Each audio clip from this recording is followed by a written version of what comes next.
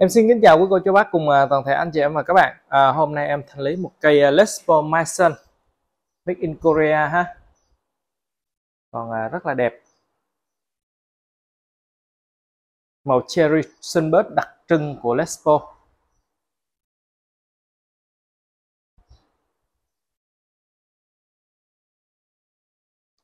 Rồi em quay cận cảnh ha.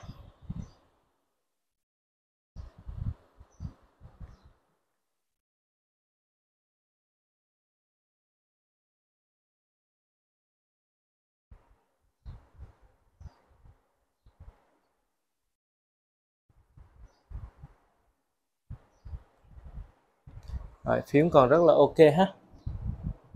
À. dây vừa thay dây mới. Nếu như quý cô chú bác và anh chị thích cái sao của tiếng clean à, đục dày à, ấm áp cũng như là hơi uh, vintage hơi già thì nên lấy Les Paul cũng như là à, Les Paul nó sẽ cho ra những cái sao khá là cổ điển ha mọi người. À, nếu như mọi người thích tiếng solo mà nó nó dài nó ngọt thì nên lấy Les Paul còn nếu mà chúng ta thích quạt chả tiếng clean sáng sủa nảy nổ thì chúng ta lấy Strat đó đó là đặc trưng của mỗi dáng đàn Les Paul và Strat là khác nhau không thể so sánh loại này với loại kia được. À, nên là quý cô chú đừng có hỏi là cây này so với những cây à, uh, dáng Stratocaster thì cây nào hay hơn. Có đó là hai lĩnh vực riêng biệt ha. Đó thì cây này em thanh lý là hai triệu rưỡi. Hình rất là ok nhé mọi người. À cây này em bán cũng rất là nhiều rồi, bây giờ chúng ta sẽ đến với phần à, test âm thanh của cây đàn này.